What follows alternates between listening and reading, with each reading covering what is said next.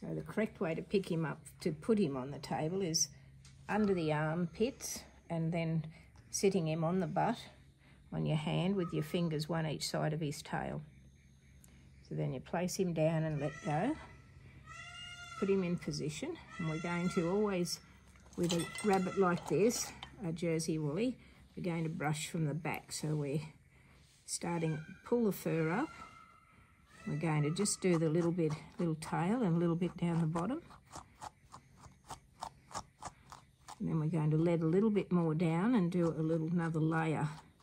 So it's like layer combing. A little bit more down.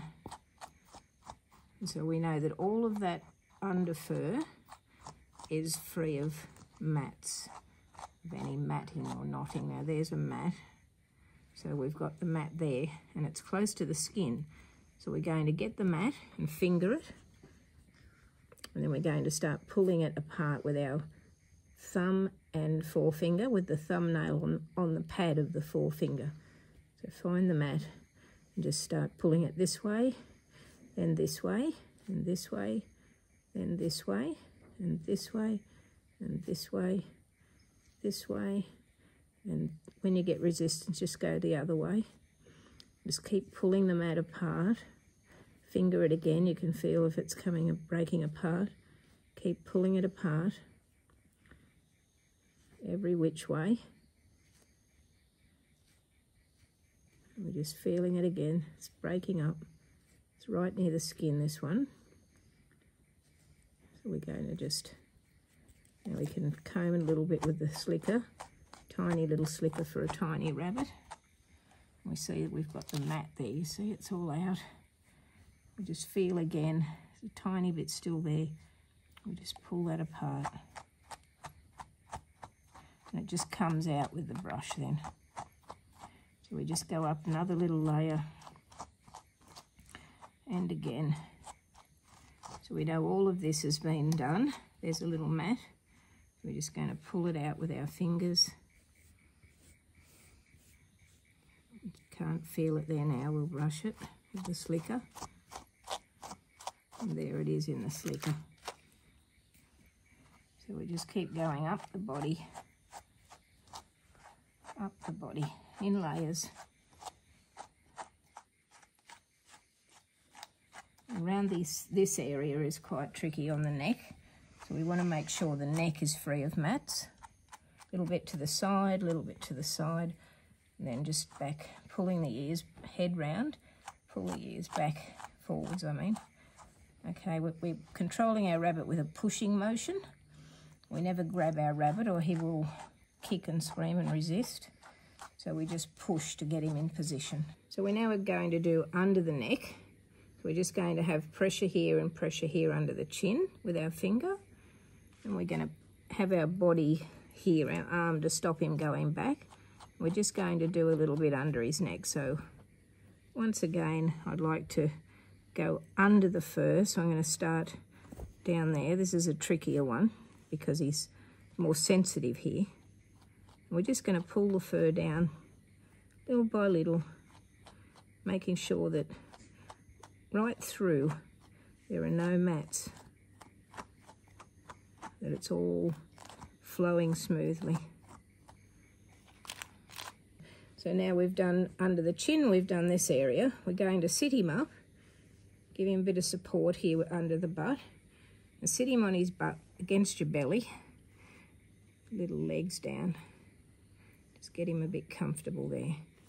So we're just going to, just going to give him a little tiny groom here. Bunnies like this can get poops stuck in their fur easily. And they can become a mat with a poop inside. So we take them off. We're just going up his little belly. If he does that, just, resu just resume, just put him back again.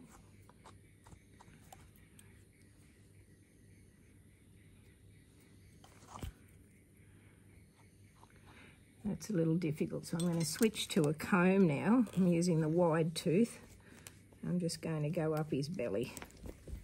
That's okay. We're just going to twist him around and sit him back. we're doing his little belly. We just do it down his little legs. That's the boy. Now we're not holding him tight, we're just having a bit of a hanging hold here and against the body. Its underside is always a little bit more difficult, so we're just going to feel for mats. There aren't any. And little feet. We have to feel for mats on the feet. So there's a, the little feet need to be groomed, so we're going to hold him like that under our arm and stretch his little foot down a bit. And I can feel a mat in the foot, so I'm going to pin the foot to the table.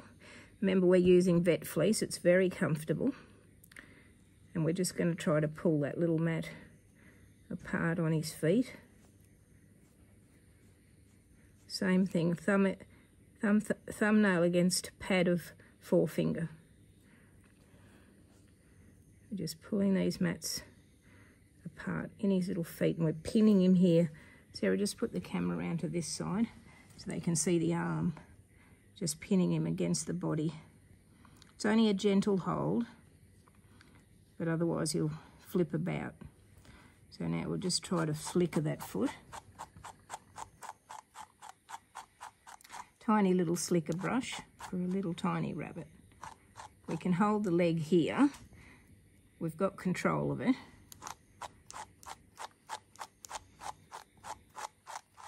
We're just slickering that because it's really tiny rabbit. It's very hard to pull the mats apart on the foot.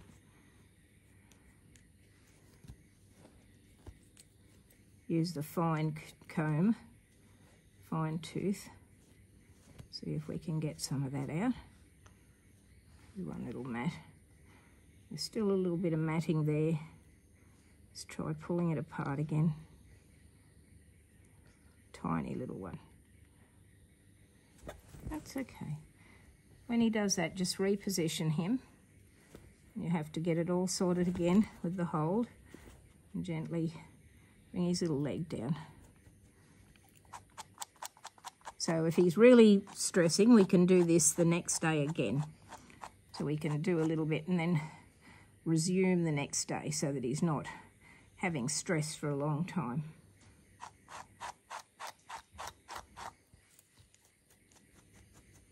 We're just looking for mats. It's a good boy. It's a good boy. It's a good boy. It's okay. We just look at this little foot again. So we've got a little bit of matting happening there. So because he's stressing, we're going to do a little bit of this today with the foot. And then we'll come back tomorrow and do a little bit more. And again the next day, just to keep working on it so that we get the mats out. It's not too bad but you must have a proper slicker brush to get these, separate the furs. So you can see now he's lovely and fluffy and he's mat free except for those tiny little ones on his feet, which we'll deal with tomorrow on a second session. And when you do around the face, always cover the eye. If you want to do the side of the face, always put your fingers over the eye because otherwise you could hurt his eye. Stop.